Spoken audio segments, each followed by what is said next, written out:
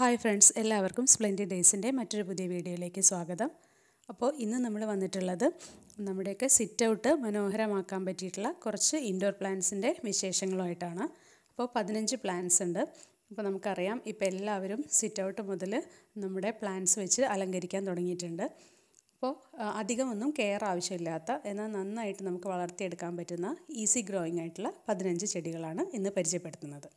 അപ്പോൾ first one അഗ്ലോണിമയാണ് അഗ്ലോണിമയ്ക്ക് പല varieties ഉണ്ടെങ്കിലും കോമൺ ആയിട്ടുള്ള വെറൈറ്റി ഇതാണ് റെഡ് ലിപ്സ്റ്റിക്ക് വിഭാഗത്തിൽപ്പെട്ടത്.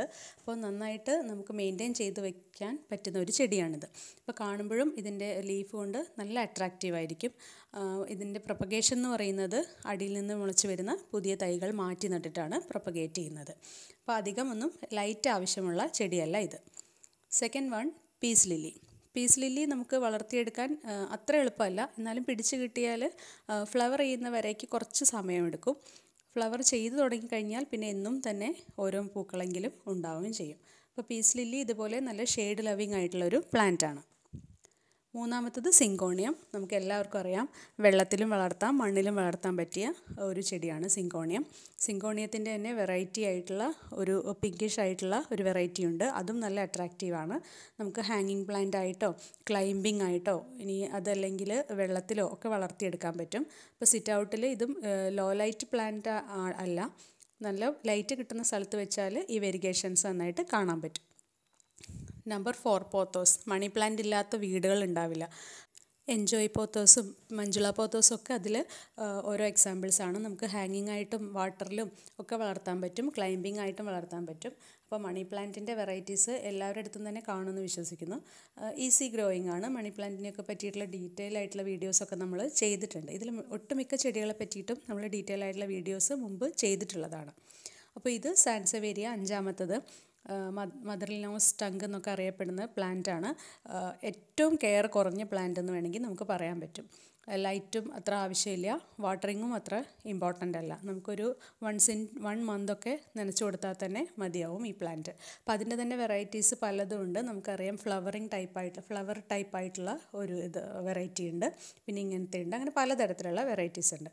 ആറാമത്തെ പെനിവേട്ടാണ് ഈ കൂട്ടത്തിൽ കുറച്ച് കെയർ ആവശ്യമുള്ളത് പെനിവേട്ടനാണ് ഒന്ന് നമുക്ക് കുറച്ച് മടിയായിട്ടുള്ള അതായത് കുറച്ച് ചെളിമണ്ണ് പോലത്തെ മണ്ണിലാണ് നമ്മൾ പെനിയുമായിട്ട് നട്ട് കൊടുക്കേണ്ടത്.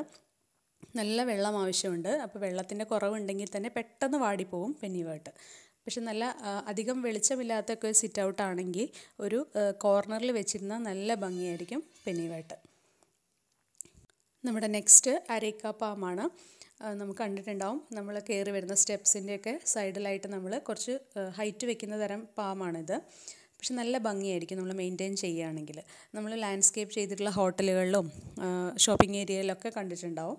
നല്ല ഭംഗിയായിട്ട് ഇരിക്കുന്ന ഈ പാം എട്ടാമത്തത് മോൺസ്റ്ററ പ്ലാന്റ് ആണ്. മോൺസ്റ്ററയിൽ തന്നെ അഡൻസോണി വെറൈറ്റി ഉണ്ട് ഡെലീഷ്യോസ ഉണ്ട്.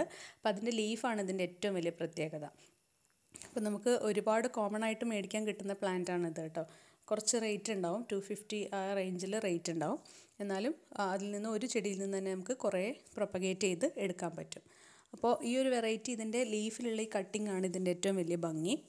അപ്പോൾ ആ ഒരു വെറൈറ്റി നമുക്ക് സിറ്റ് ഔട്ടിൽ വളർത്താൻ പറ്റുന്നതാണ്. സ്പൈഡർ പ്ലാന്റ് ആണ് നെക്സ്റ്റ് അതെല്ലാവർക്കും അറിയായിരിക്കും. സ്പൈഡർ പ്ലാന്റ് ഒരു ബുഷിയായിട്ട് നിൽക്കും. നമുക്കത് ഹാങ്ങിങ് ആയിട്ട് വെച്ചാലും നല്ല ഭംഗിയായിരിക്കും.